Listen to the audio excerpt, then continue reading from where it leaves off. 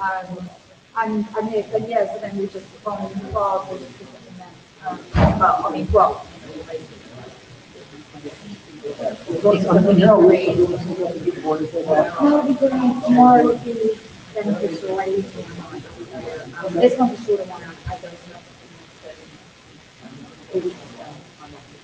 Well, the same with you. Um, well, no, it's work related Oh, stuff, work. so it's not too big.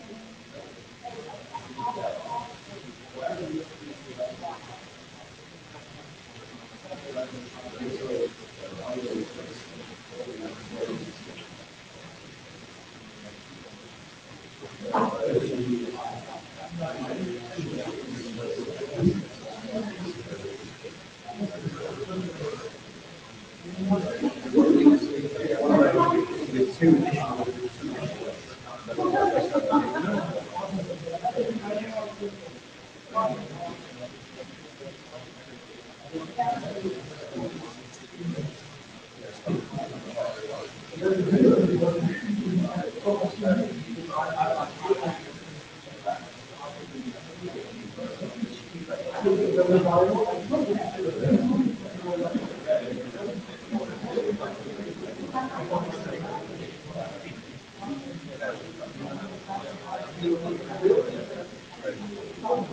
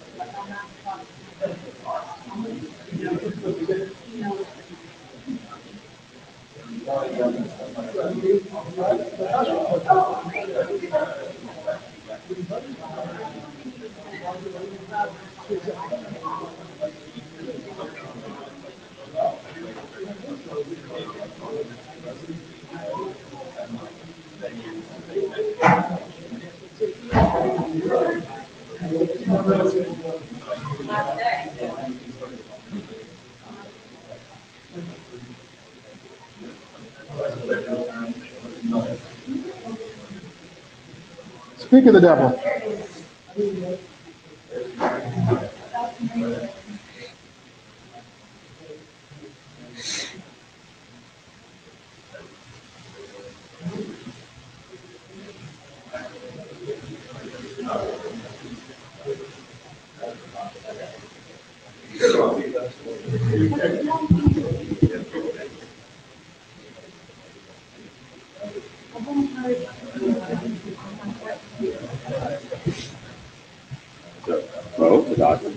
The doctor. We have We spoken. met.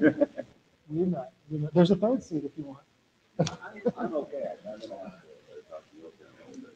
Um, but you, you actually, you did one day, I think, I mean, this would be- I don't think so. I mean, just took out the word first. Ten right? Yeah. Okay. Then you're certified, and I think it's in the, that's probably out of paper revision, maybe. Um, but after that, I think it's You can, you can play by ear. I mean, we'll, um, we'll probably be quick through both the requirements and testing, but you can, you can pick up. How do I spell your surname, Mo? Zanaty.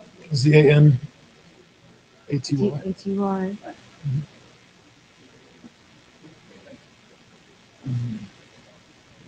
Hmm, video codec. Um, Right.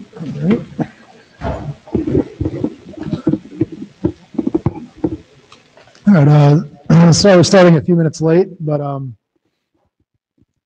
had some important people that we were waiting for.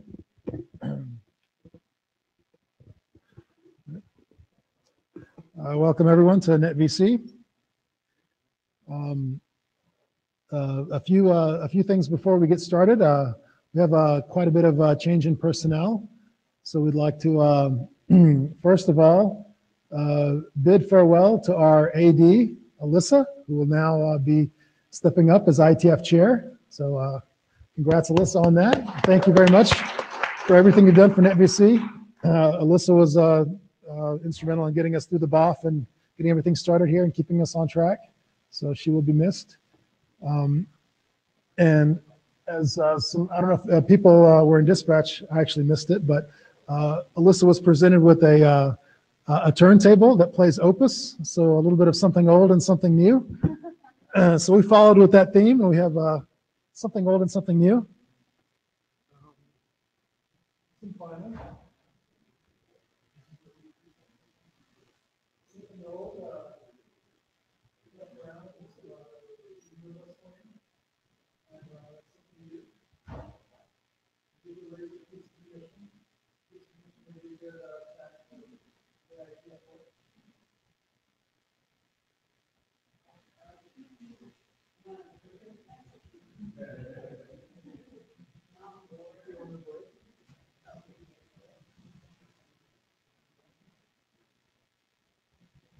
Thanks, really, I don't know, eat the mic for the last time.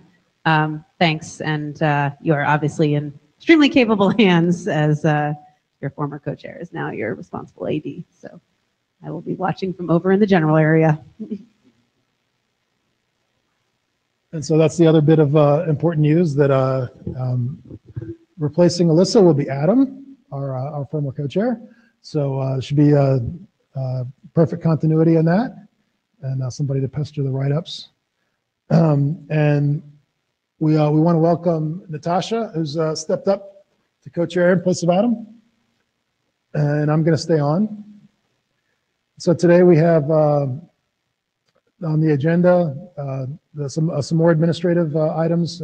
Look at our milestones and and disposition of some of the work group documents that we have, and then we're going to cover um, the uh, requirements draft updates, and uh, then the testing and uh, Thor update and Daala update.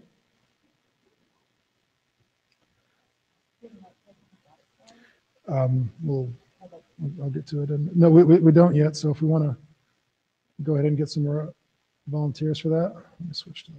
Is there anybody that could take notes and do Jabber scribe? Jabber scribe's an easy job. You just look at the Jabber and stand up at the mic if there's a question to be asked. Thank you. Um, so sorry, I don't know your name, sir. Jonathan, Jonathan's our Jabber scribe. Thank you very much. Anyone for a note taking? Ah, you get a star. You get a star, I think. It's like really precious. You can trade it in for nothing, um, but you can show how great you are.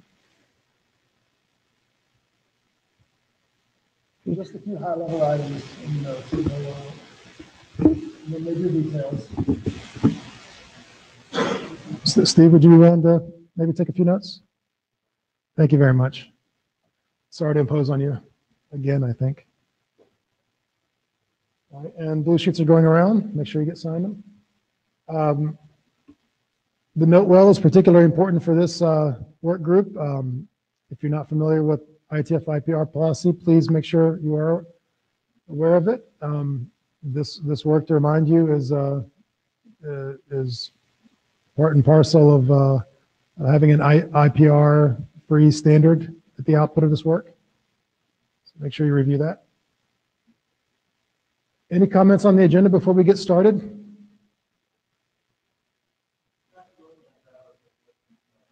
Yeah, that's me. it's good that we both didn't know each other's names. That, that makes me feel better. Love having new chairs. Um, All right, so going on to uh, um, the first item, uh, reviewing our um, our work group documents and milestones. Uh, So we have uh, first milestone of uh, uh, July last year, which we've uh, obviously exceeded, and that was the requirements and uh, testing evaluation criteria documents. Uh, If we choose to publish them as informational, and uh, we did decide to choose to publish them, uh, so that's not the question here. But obviously, um, we missed that, so we'll update the milestone uh, to May. Kind, kind of aggressive, but we think there's not much left to do.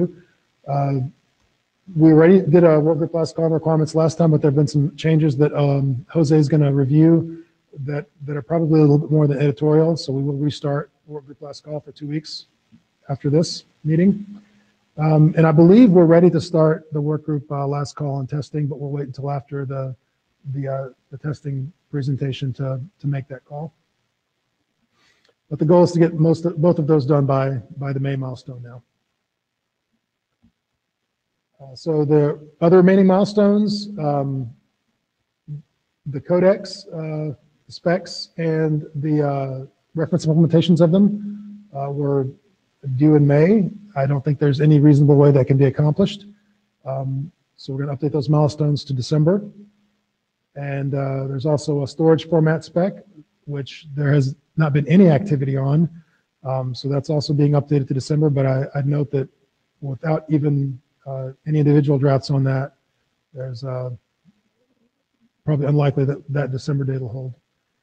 Um, And then finally, there's a test result document, which again has not been started, but should be relatively straightforward after the testing evaluation criteria stabilizes. This should just be a simple output of, of that document. All right. So that's it for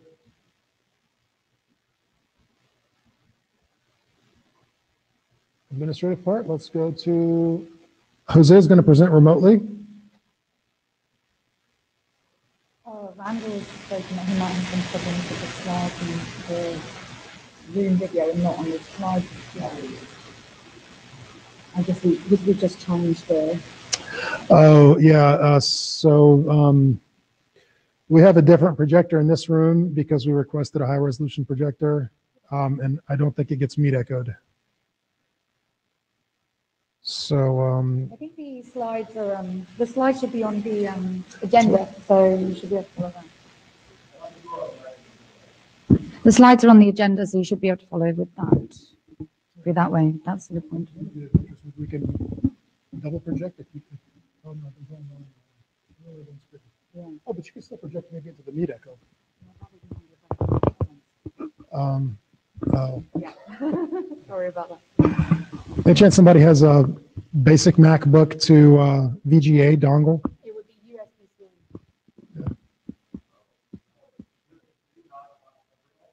No, new, new MacBook, small MacBook. You just state which slide you're on. and we'll go through that one. Okay, so, um, yeah, apologies to those, uh, remote, we'll have to, um,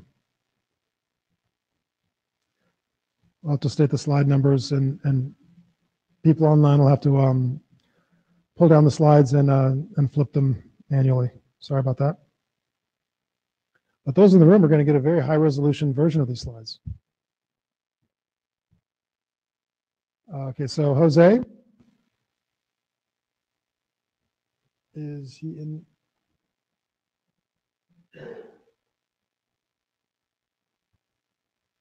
I see him coming.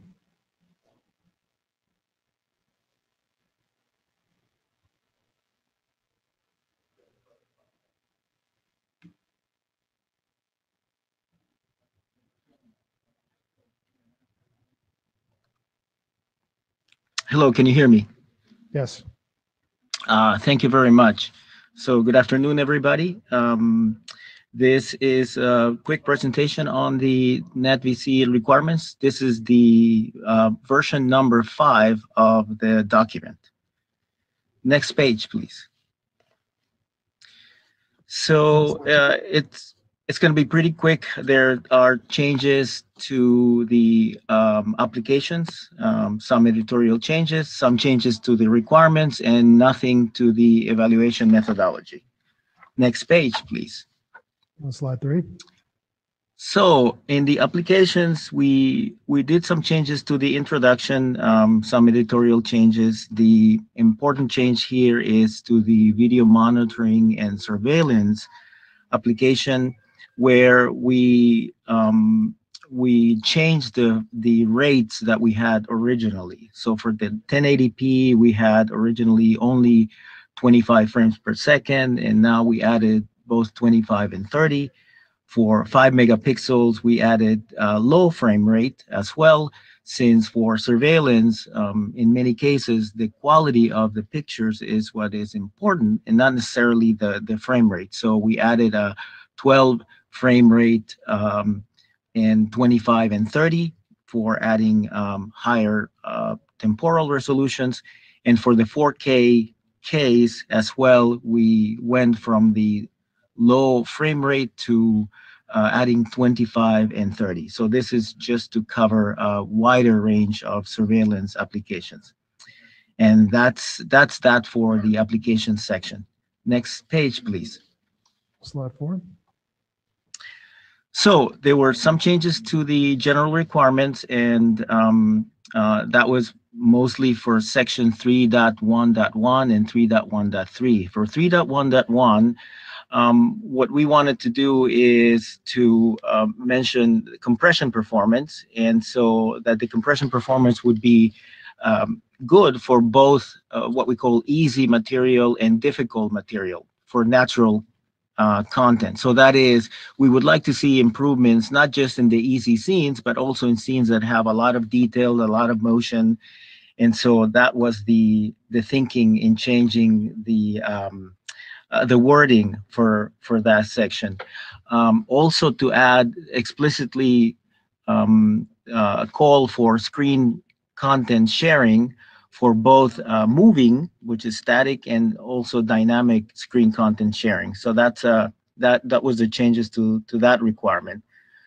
For 3.1.3, we had uh, mentioned syntax that would allow extensibility, but we wanted to make clear that this is explicitly the bitstream syntax and that we recommend that there is backward compatibility. And so in this case, backward compatibility means that the changes to um, uh, will not affect legacy decoders. And by legacy, we mean just simply decoders that are that are working at a specific um, uh, profiling level will not be affected by future changes to the um, to the encoder. So that's really uh, the the the, the essence of uh, the changes for 3.1.3. So backward compatibility um, for a specific uh, profile and level. Next, please. Um, so just before we go on, uh, so this is, um, this is where I thought there, the changes would be really more than editorial. And I think this is where we need to reset the work group last call. So I'd ask the work group to please review this. I think this is more of a substantive change and we should realize what this means that, you know, explicitly calling out, uh, screen sharing performance being part of the target, um, you know, is, is significant and, you know, uh, requiring backward compatibility, uh, for for first uh, uh, first generation encoders versus you know later decoders is quite a um, quite a requirement too. So to work with to please review those um, during the next uh, last call and and make sure you weigh in on your views on them. And I'd note that um, in, in other spec in other standards, um, for example, in HEVC, uh, the the first version did not have any target for screen sharing performance. And it's not until version four that was, was just published a few, a few months ago, um, where screen coding performance actually ended up, uh, you know, being significantly better. And if we're setting our bar relative to industry standards now, this is even a, a, a more important thing to keep in mind. 25% better than the latest December state of the art is a pretty significant undertaking.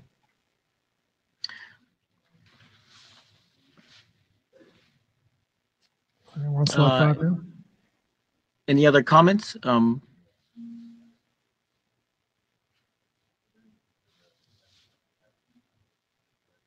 No, go ahead, Jose. okay, uh, so next next slide, please. Yep, slide five.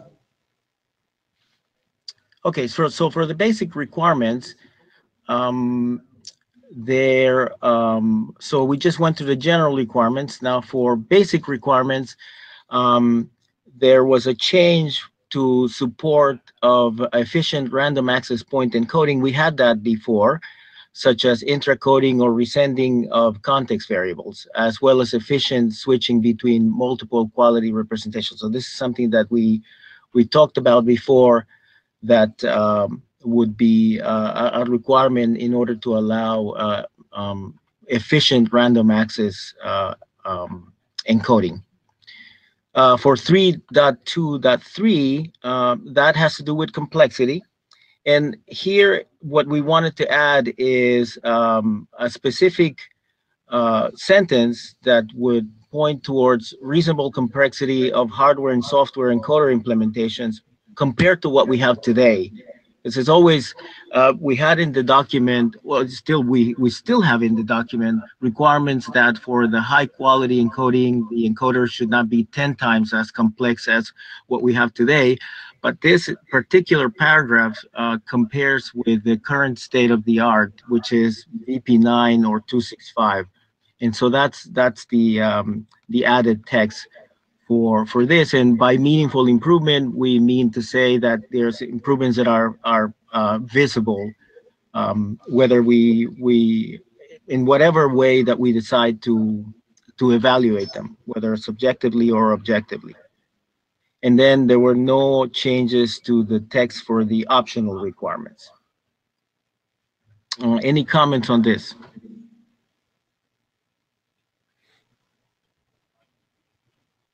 okay and that's uh that's Hold on. basically it One thing, Jose. Tim Terriberry from Mozilla. Um, so just a question about the, that better? All right, Tim Terriberry from Mozilla. Just a question about the first bullet point here. Um, does, this doesn't say much about when you have to be able to do this switching. Um, is your estimation that something like, um, you know, periodic aligned keyframes across multiple quality resolutions would be good enough, or do you envision this as requiring something like S-frames? Uh, I, Tim, I, I missed the last statement that you made. Um, do you envision this as requiring something like S-frames, or would periodic um, aligned keyframes be sufficient to meet this requirement? Yeah, I think that would be sufficient to meet that requirement. Correct. Okay, then I think that's fine. Thank you.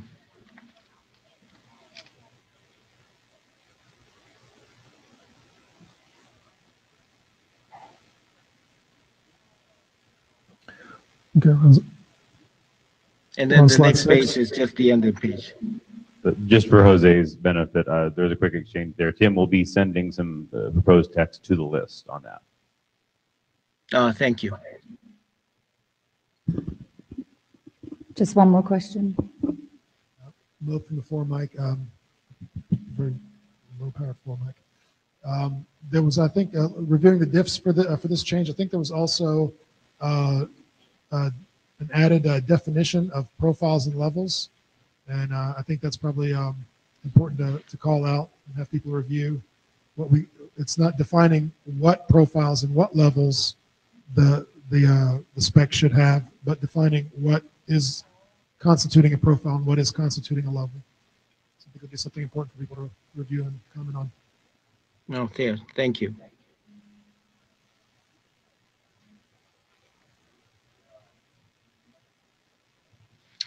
Right, so thank you. So those are the changes from the previous version.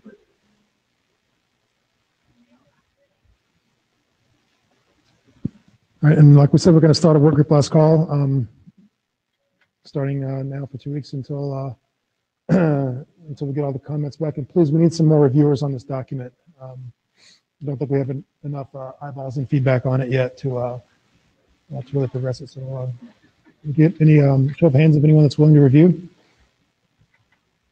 All right, for the notes, Tim. Anyone else? It's a pretty short document, and the updates are even shorter.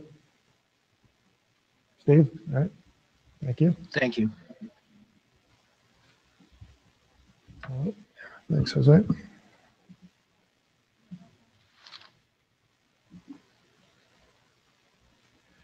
right, so next up is um, uh, Thomas to talk about testing, and he's also going to do it remotely. So Thomas, if you could come up to the mic uh, queue, Meetecho, is he on?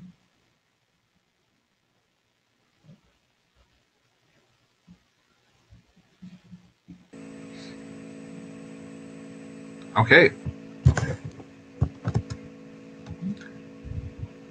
We can see and hear you. Okay, cool. Um, and I can't, are my slides up? I can't see it all. There we go. Now I can see.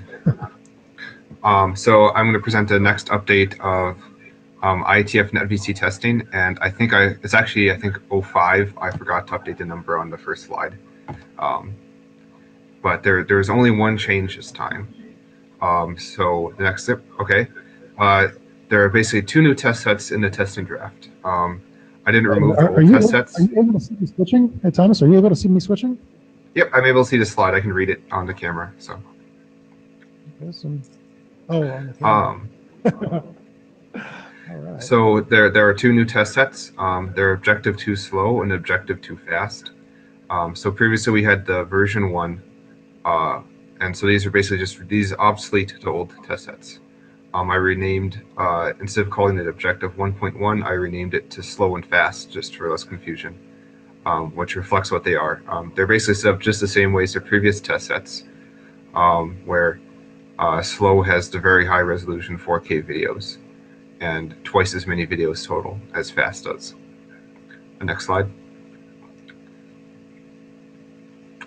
Um, so the biggest difference with between these test sets and the previous ones is that these new ones have HDR material. Um, in the test sets, the HDR materials at all resolutions, um, all the way up from 360 to 4K. Um, it's encoded in HDR10 compatible format, which is basically uh, uh, ST2084 with 1000 nit uh, peak brightness. Um, and they're stored at 10 bit sample depth. Um, that means that these all these test sets, even the fast one, now have 10-bit samples in them, which means that you can only use these test sets if your codec supports 10-bit. Um, that is, that's the, probably the biggest change here. Um, so, luckily, the ones we're testing do. So, uh, next slide. Um, so the other difference is that we've added 240p content to both test sets. Um, so uh, we basically didn't have we people were, we were concerned we didn't have enough coverage of really low resolution. For example, very low bitrate cell phone streaming for like YouTube and similar use cases. Um, so we added uh, six 240p clips.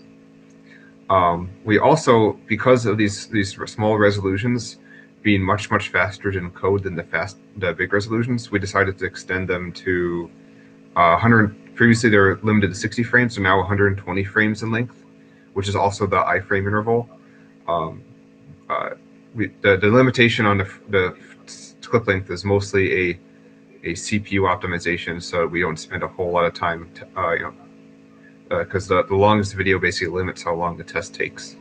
Um, so for the small videos, we're not limited by the time they take, so we increase the length under 20 frames. Uh, next slide. Um, there's other small small improvements. Uh, Shields 2 had a uh, uh, a gray frame in it, um, so that that bug has been fixed. Um, the new version of it is a new test set. Um, the other thing is a couple of the videos have been switched around so that um, Objective 2 Slow is a complete superset of Objective 2 Fast, meaning that it only adds videos to Objective 2 Fast. Previously with Objective 1, there were some differences between the videos. Um, like Objective One Fast had uh, some videos in 420 format, and Objective One 1.1, the slow one, had videos in 444 format. So now the the formats have been matched, and uh, you can basically if you, you can run Objective Two Fast and then potentially run the slow version just by running the missing videos, which is a convenient feature. Um, it's not implemented in Are We Compressed Yet or any implementations yet, but it's something we could do in the future. Um, I list the end of my presentation. So the, it's just the purely the new test sets. And the old test sets also remain defined in the testing document um, for people who are already using them. But th these ones are intended to replace them.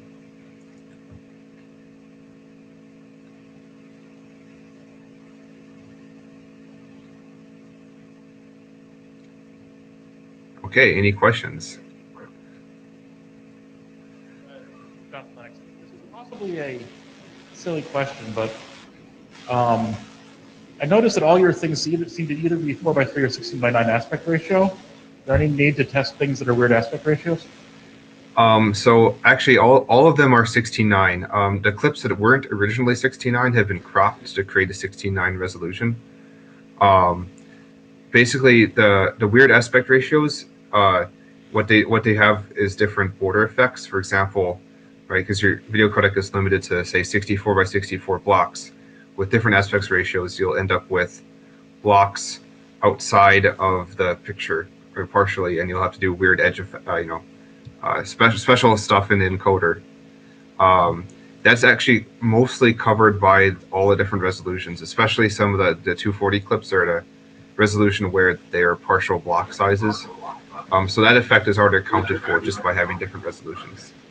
Um, I don't believe there are any other major aspect ratio dependent effects until unless you get into extreme long or wide aspect ratios. All right.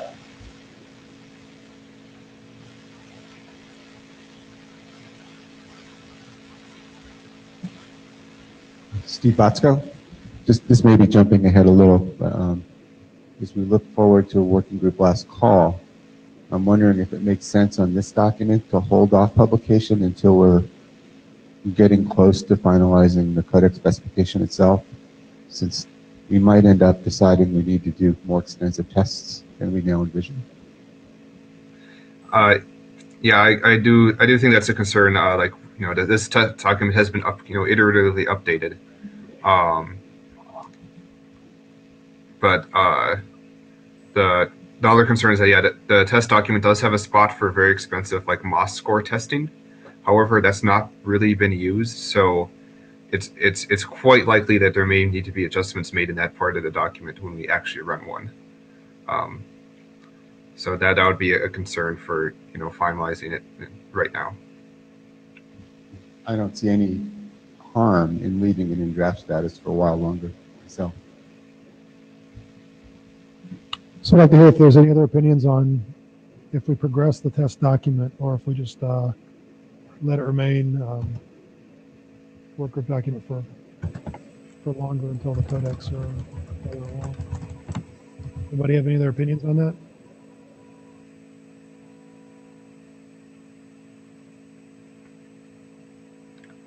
Terriberry from Mozilla. Um, I have basically the same opinion.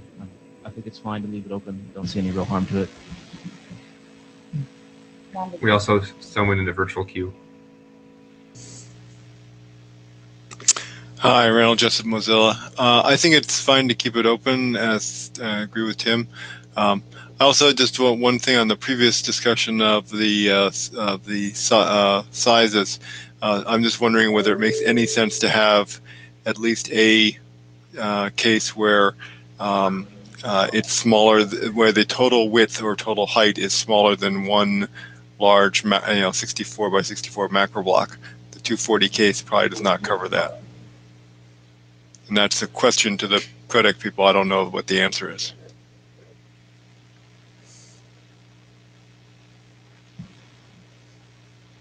Um, Tim Terriberry from Mozilla. So I think that's a reasonable thing to use in regression testing. I'm not sure it's that useful in um, quality performance testing. That that's a reasonable. I agree. That's. Just I thought I'd mention it. Thanks.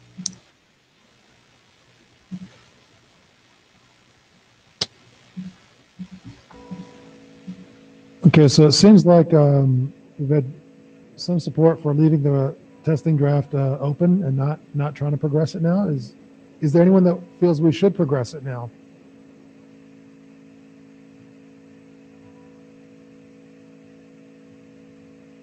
I'm also fine with uh, leaving it as draft for right now until we finalize the, the uh, subjective testing bits. Uh, John, I mean, the only counter argument I would do would be that get it if you get it done, that means it's not taking up. You can get this document, this working group last call isn't distracting attention from other working group last calls, and maybe you have more cycles to get finished. Soon. But I mean, if you think that the process of finishing the codecs is going to discover, well, then, then the other counter argument would be having a moving target for what the codecs are, be, are being tested as as you evaluate them might be harder for the codec developers.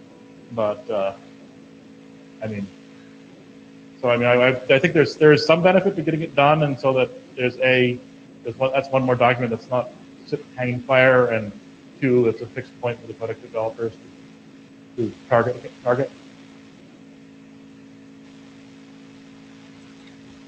Steve again, there is there is a middle ground potentially, right? Which is to go through a working group last call, but then not submit it for publication right away. Then you could reopen issues as they come along later, but you'd still know that you have some consensus on the tests that you have already there. If we intend to uh, continually update it, um, if Thomas, if that's your intent, that you think there's going to be some substantive changes coming in over, you know, over the next several months, then um, then I don't see why we would try to push it for publication.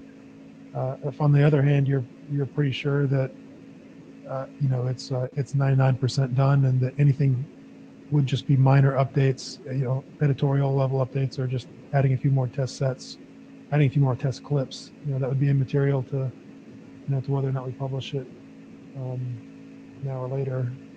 Then I would say we go ahead and do it now.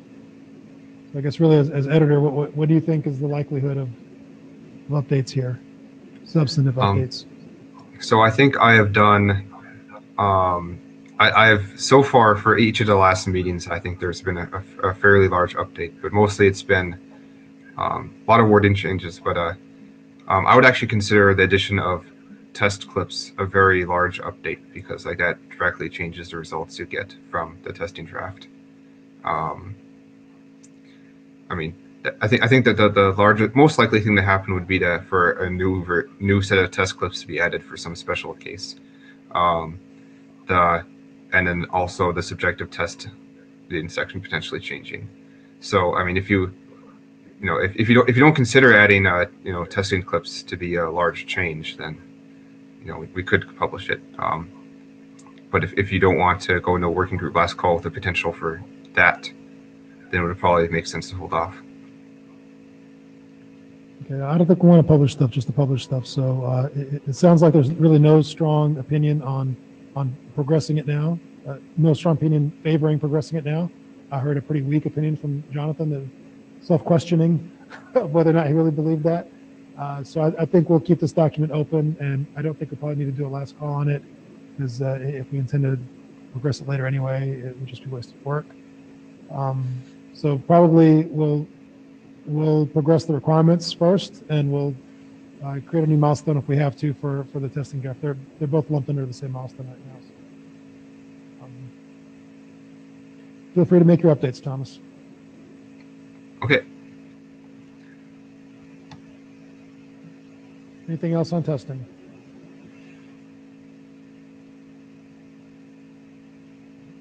All right. All right. Thank you. Thanks, Thomas.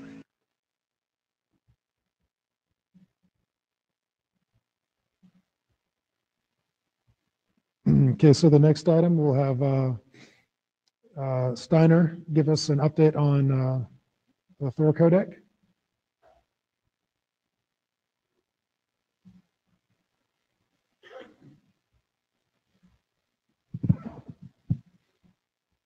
Uh, I have two topics for today. Um, I'll go through the changes in Thor since the last meeting, which admittedly it's not a long list. You can hit the mic. Yeah, is that better? Yeah. And I will go through an update on, on the performance. I have uh, new data using Are We Compressed Yet. Previously, we have been using an internal Cisco test set, so I think it's about time to make a switch to what we have agreed on to use in this group. So moving on to the first slide. Um, the new things in, in Thor, uh, I've added support for monochrome video, which was a trivial thing to add. And also added support for 422 chroma sampling, which I made trivial to add. It's actually encoded as 444 internally which means that it's very simple to implement and the code remains clean and simple. We don't have to uh, be concerned about funny aspect ratios or rectangular blocks. Um, the downside is that it, it likely gives us an optimal compression. Um, I don't know how much because I, I didn't um, do it the proper way. Um, um but I, I think perhaps 422 is a corner case. Uh, one use case is interlaced video, which is an analog 80 years old compression technique, and we might move on to something better now. I, perhaps some, I think some sensors will give you 422, but again, um, unless somebody can come up with um, uh, a real use case for this, I, I would be reluctant to add uh, a lot of complexity in the encoder and decoder for um, a corner case. So um, my suggestion is to just keep it as I did for now. And I also made some changes to the CLPF, the constrained low pass filter, some improvements there, which gave 0.4% PDR gain in the high complexity setting. There's a question? Um, yeah, actually, question possibly also for Thomas. Is there any 42 content in the testing draft? Yeah, I think it is, at least in the latest test set. Uh, Thomas will know. Let's take Randall's question first, then we'll get Thomas to answer. Sure. Mine's on the same issue. Um, I'll note that uh, currently uh, WebRTC code, both in Chrome and Firefox, is very heavily 422 oriented. In fact, it's all 422. So um, Just a note. I think you meant 420 or 422? 422, I believe. No, that, I think that's probably a 420? 420 maybe. bug in reporting stats. Yeah. 420 is, is probably what they're Yeah, to report. pro- pro- probably 420. In any case, it's not 444. And so the, the question is how suboptimal is the compression? Um, as I said, I, I don't know because then I would have to implement it the, the proper way. Yeah, um, Tim Terriberry from Mozilla, not to jump in front of Thomas or anything, but yeah, Tim Terriberry from Mozilla. One way to actually test that would be to take another codec which does implement it the quote unquote proper way and see how much difference it makes there. And it's probably at least in the same ballpark in Thor. Yeah. I haven't done that, but it would give an indication. I agree. And a test set Go ahead, Thomas. only is uh, 444 and 420. There is no 422 in, in the test set. Okay, so is that something that you think you should add? Um, if we're going to support 422, yes. Um, but the the the main use cases for 422 are generally legacy broadcast applications, um, which are not nearly as rate sensitive in general. Um, so it's something we could add, but uh, not- I, I, I would actually be anyone remember? sorry. Go ahead. Yeah, I would, I would actually be uh, pretty comfortable with that being, you know, having maybe that part of just regression testing, um, or may, maybe one or two clips that are 422 just to make sure it's not totally broken if we want to support it. But Does anyone remember what the uh, requirement says about 422? Yes. I think uh, Jose is in, in queue to mention that. Go ahead, Jose. Yes. Yeah, can you hear me? Yeah. Okay, yes, exactly. So I was going to say that in the requirements, we do have a mention of a 422 requirement, but no, um, uh, I agree completely with Thomas that the reason that it's there is for legacy broadcast applications. So I think that it's something that we need to support, but doesn't have to be optimally supported. I think that most of the material will be 420 and 444. And 422, as Thomas said, we should have, you know, one or two uh, streams just to make sure that nothing is broken. But uh, I'm, I'm, I think we're okay with having it suboptimally supported. Okay, then I'll move on. And there are var- various fixes in Thor. For instance, um, there was a bug in the chroma from luma code in the high bit uh, case. We have uh, fixes for increased portability. And also, um, we have code that has been taken from Thor and put into the AV1 codec. And whenever that code has been updated in AV1, then I've tried to take that back into Thor. So uh, I won't, I would like to keep common code in sync. On. so um, I'll give some details on the change in CLPF. Um, CLPF has been presented here before, so I'm not going to repeat that, but C just reminding that CLPF is a loop filter. Uh, it will modify the pixels by a delta, which is calculated uh, using the surrounding pixels. It used to be six pixels. That has been increased to eight pixels. and also the uh, filter has a clip function, which is uh, restricting um, the amount of change that the pixel can uh, change.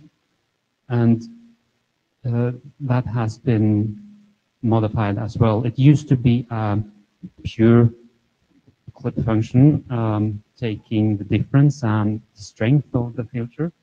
And if the difference was larger than the strength, it will, return the strength. Um, an improvement on that is to uh, change the function so that if the difference is very large, then Um, we don't want to modify that much and we want to leave uh, the image unchanged. So that's what's been done. Uh, next slide, please. On this slide, I've tried to illustrate the new function. Um, it can have three different strengths, and, and that's uh, what the plot shows. Uh, the strengths can be either one, two, or four. It's possibly a bit hard to see on the uh, image here, um, but we have we have the high resolution screen, so perhaps we can see. Um, um, so what has been added is a ramp down um, bit. So in this case, in this example, uh, if the difference is more than 32, uh, we will not change the pixel, and if the, the values are between the strength and, and 32, it will ramp down gradually. And uh, the function takes now takes another argument, um, which is the zero point that we have. So that zero point will change um, depending on the quality. So if the quality is high, we want a steeper ramp down. And also if we are encoding chroma, the, the ramp down is steeper.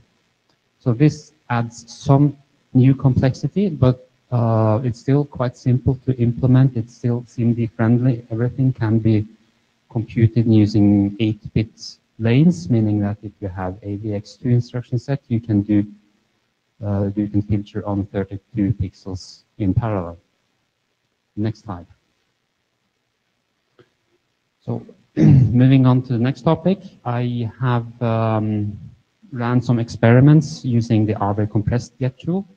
I, I wanted to include X265 as well, uh, but for some reason I couldn't get that to work. It, I couldn't get it to work. It, it had some failure in the, in the build, so I only have uh, Thor compared to AV1.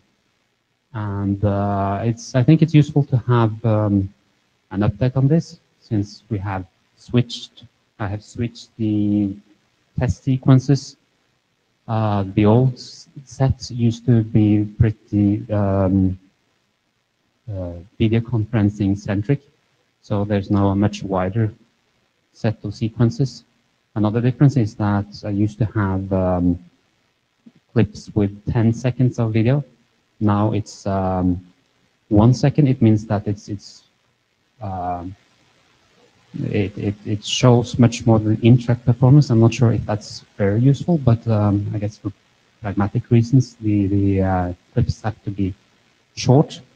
Uh, it's using the Objective One set, which, as Thomas said, is is now outdated. I, I tried to use the new one, but it turned out that Thor doesn't support resolutions that are not multiple of 16, and I hadn't time to fix that, so I had to use the old test set.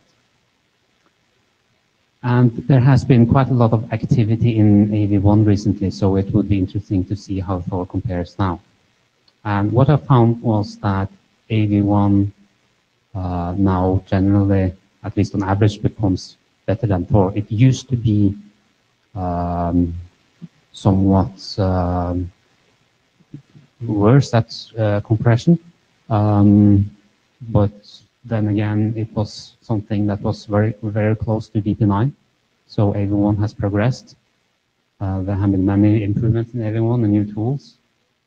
Um, I think Thor still seems to be slightly better at video conferencing um, in low delay configurations. So, so sequencing with uh, meeting rooms and talking heads, Thor performs pretty well. And a reason, one reason for that might be for having Thor has uh, 128 by 128 blocks, which which helps in quite a quite a lot with uh, these sequences. On the other hand, AV1 is much better than Thor at screen content.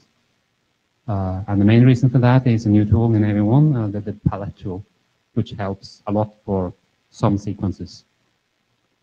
Uh, and when I did this testing, I, discovered that AV1 seems to have a three to four times speed advantage over Thor in the Are We Compressed Yet service compared to what we have. Uh, I couldn't figure out why that was the reason, whether that was because of compile options or different architectures and, and so on. So um, we should probably focus on the compression and, and not so much on the speed in the comparison that I did.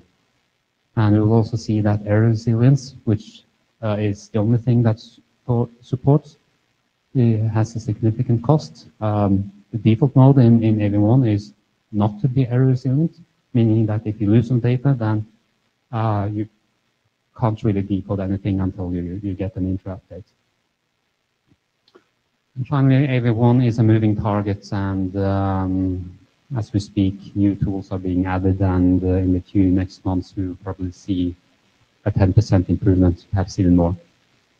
The next slide. So this shows um, Thor compared to AV1, and as before, I have uh, the BD rate on the x-axis and the frame rate on the y-axis, but we should probably focus on the x-axis. And, and Thor is to the right here, and AV1 is to the left, and uh, um, it's to the left, it's, it's the, the better side.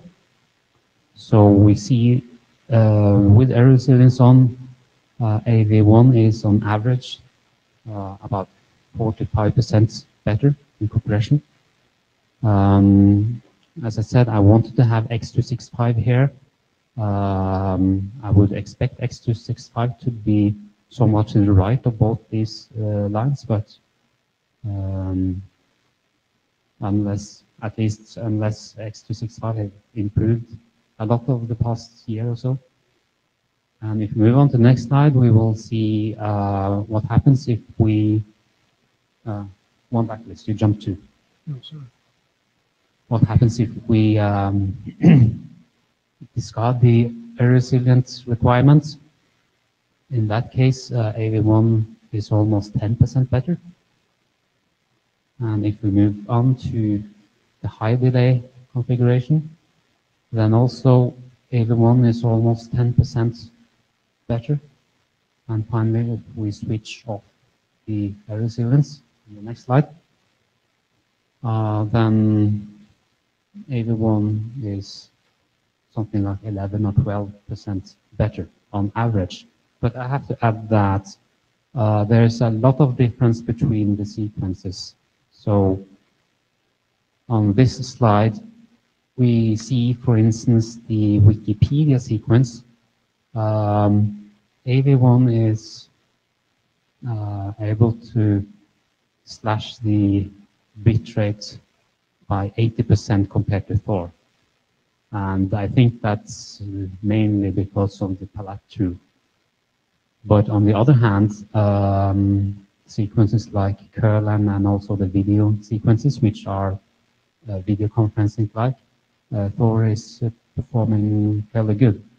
Um, this is, by the way, low complexity and um, and high uh, high delay, uh, and for some reason, Thor um, has pretty low scores on Chroma and also on SSIM, which is not the case in low delay. Uh, if the PSNR difference is 10% there, uh, is also about 10%. So I need to figure out why this is happening. Okay, so my final slide. Um, w- One quick point, since we're deciding to keep the uh, testing draft uh, open, maybe this is a thing to consider. Uh, You know, uh, other standards have broken out the screen content, or in general, different classes of content that are expected to have wildly different results. So maybe it's worth in the testing spec to consider breaking out screen content if the results really do skew things to make them almost uncomparable. Uh, maybe it's worth considering for future versions of the testing document. On the reports that we get from other compressed step, there is a category for screen content, at least 1080p screen content. But I'm not sure which sequences that included. Probably includes uh, the Wikipedia sequence. I, I think that sequence alone uh, makes up a few percent of the total. Yeah, that's, that's really biasing metrics. So this is slide. What next? Um, we don't have a fixed plan. Um, Thor is still using the variable length uh, encoding, and I think the expectation for any modern codec is that it should have arithmetic coding. So one possible solution to that is to use the Daala entropy coder, and in that case, um, perhaps it's more correct to talk of a merge of Thor and, and Daala, since uh, the entropy coder is, is at the very core of, of a codec. I don't really know how much gain that would uh, give. I, I think the VLC in Thor is pretty good, but again, I, I think to be taken seriously, probably need something better. And another thing that could be done is to um, uh, merge uh, CLPF and Daala deringing, and that has actually been done in AV1. So much of that work is already done. And again, this would take the work in this group towards towards a, merge of Daala and D-Ring. Um, and since the, these tools have already been adopted in AV1, so um, this path, path would take us um, close to a, a, a, to a subset of AV1, or well, actually, it might be more correct to say that it's AV1 that has moved towards uh, what we've done in NETVC, since so much of the work that we have done here has been now been adopted in AV1. Um, other tools from Thor already in AV1 are the 7-bit interpolation filters, um, some of the coefficients from those filters, and, and the rest were based on what we had in Thor, uh, quantization matrices and, and delta Q. Everything is now adopted in AV1. So um, that's what I have. If somebody has any opinions on how we should progress with the code network, please speak up. Does it make sense to have a merge? Um, to me, mm, I think it's probably a good idea to see things converge in some way or another.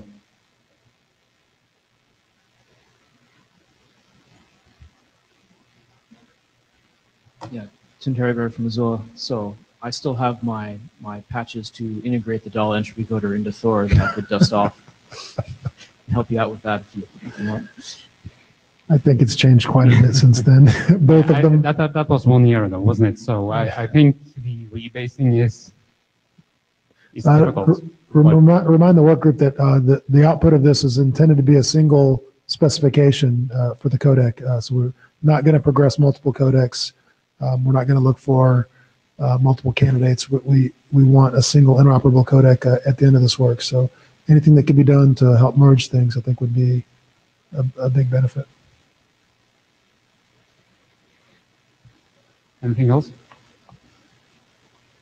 So, by the way, Jean-Marc is going to say a bit more about, about the merge of uh, CLPF and Daala deringing.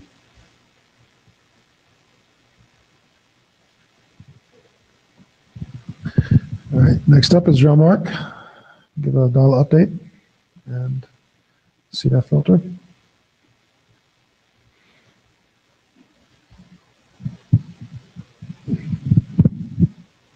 Yeah. Um, so there wasn't very much to do in terms of update on Daala itself. Um, so what I'm going to present here is the um, constrained directional enhancement filter, CDEF, that um, Steinar was talking about. Um, next slide, please. Um, so first, um, so Steinar explained what uh, CLPF was like.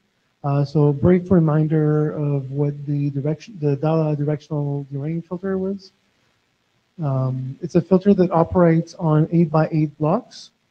It um, works first by estimating the direction, uh, the main direction in each 8 by 8 block. This is done only for Luma. Uh, then it uses a conditional replacement filter. So uh, the filter is kind of similar to the uh, CLPF function, except that there is no ramp down. It goes to zero abruptly.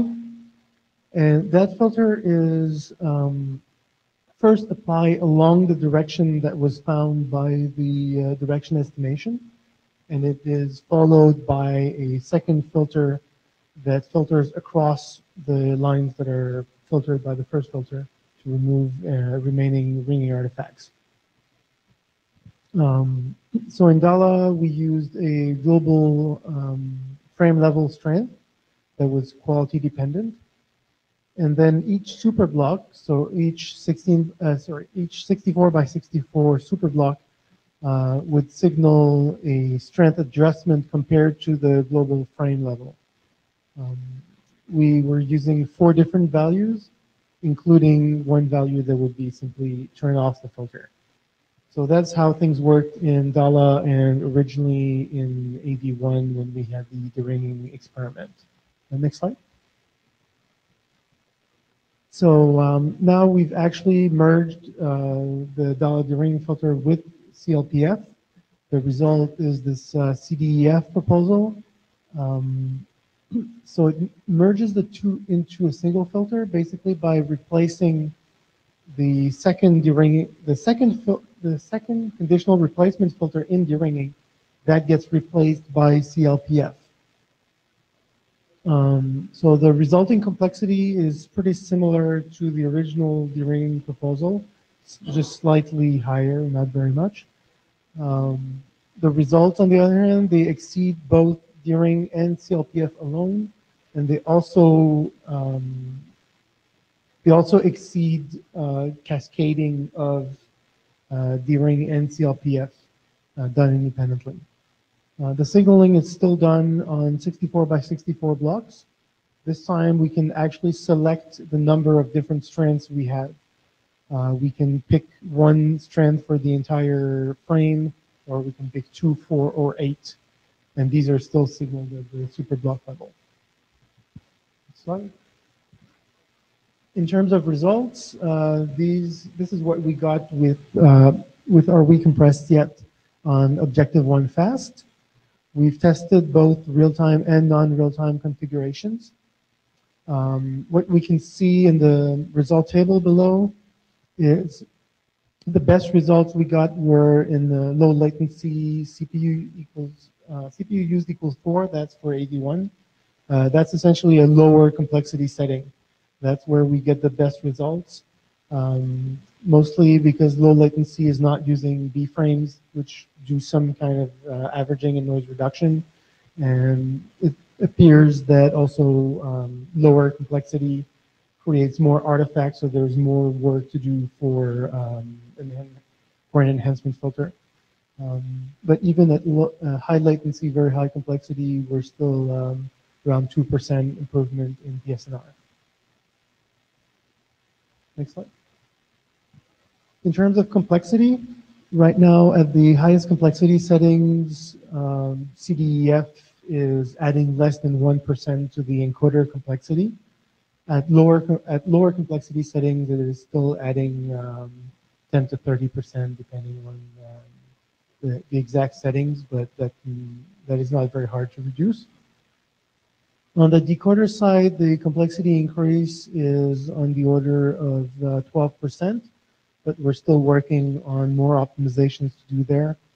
Uh, we're expecting to get more into the 6 to 8%. In terms of hardware line buffers, which hardware people care about, um, it has been reduced now down to six lines, which was what the original deringing filter proposal was using. Uh, and for service strategy, right now we're using the first one, which is the whole frame optimization, but it's possible um, to, uh, to simply select, uh, to pre-select some, um, some strands to look at for a frame and just only search that. That is, this is how it was implemented in Dala and that worked fairly well. So uh, it should also work with uh, the CDEF proposal. Next slide. And uh, so what we have left to do mostly, uh, first we need a perceptual distortion metric. Right now CDEF has a bit of a tendency to blur um, to blur details uh, in textured areas. So we need to have uh, better encoder decisions to use lower strengths in these areas. Um, we have yet to apply entropy coding to the strengths, so that should help us reduce the uh, signaling overhead slightly. And last step is we need probably to optimize interaction with other tools because um, if we're able to reduce ringing, then we can configure other tools to get better quality by and allow more ringing, which will then be removed. So there's still some work to do in integration there. Um, next slide. And um, so here we have, um, I think it should show up on the projector, uh, comparison of um, with uh, the kind of deringing that can be applied here. Uh, this is an example with uh, low latency at low complexity. So uh, a case where we see the most difference. So you can flip maybe back and forth between the, uh, the slides. CDEF disabled and this is enabled.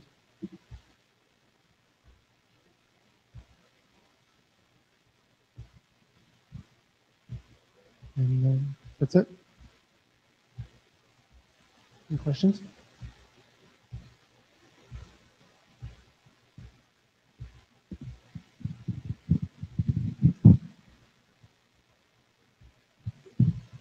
So I'll just say it's uh, great to see a merge of uh, of some of the ideas. Um, I think that was the whole spirit of of uh, of the work uh, that, that we intended to have done here. So um, good to see that um, the Thor and Daala teams are working together and getting some of the common tools merged together, uh, and and the results are, are pretty good too.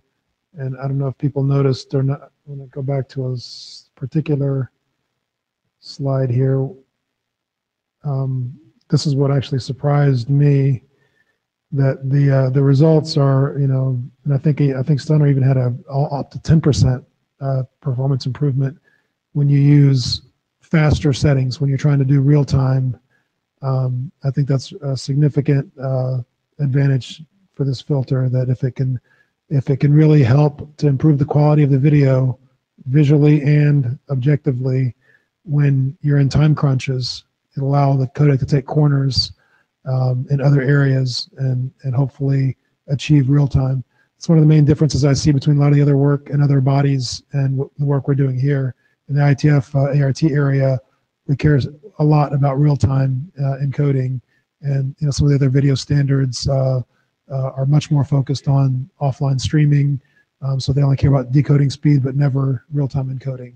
And I think this is a really great tool for for improving the cases where you're under real-time encoding constraints. You can really take corners and, and still make up the difference with this filter.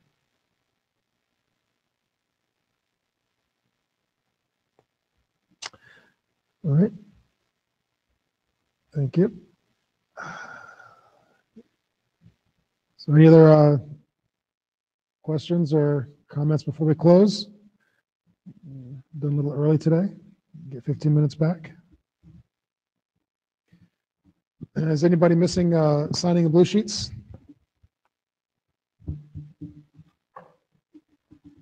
Anyone else need blue sheets?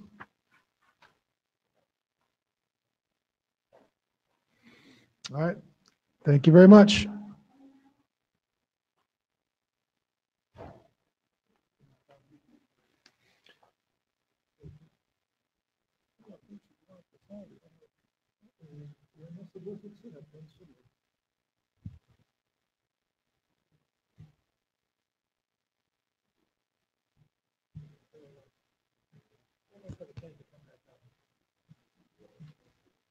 Tasha's got one.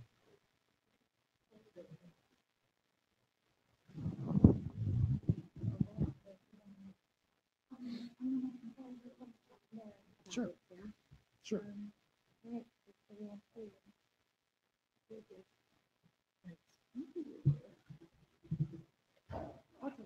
You want to take them? Okay.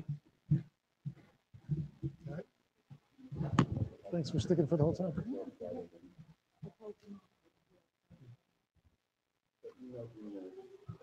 Thank you so much. I could take a few on the because when you were talking and yeah, just with it.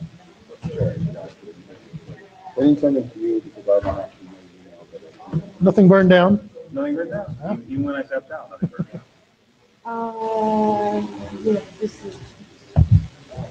Um, yeah, sorry, I'll, um, I'll introduce myself on the list, I guess. That would be the idea, right? Yes, thank you very much. That's okay. I'm gonna go and speak now, and if there's anything else you think I need to let you know, I'll introduce myself on the list. Um, I found it in the email.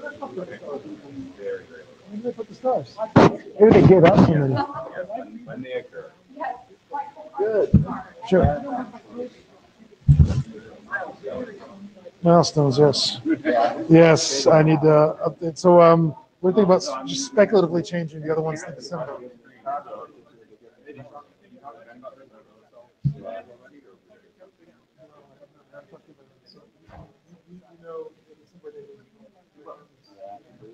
Yes, which is why I'm, it's kind of like, I would expect input and then work and then milestone, opposed to bang. Well, I mean, we've been trying to get input sooner, and you know, they're saying closer to.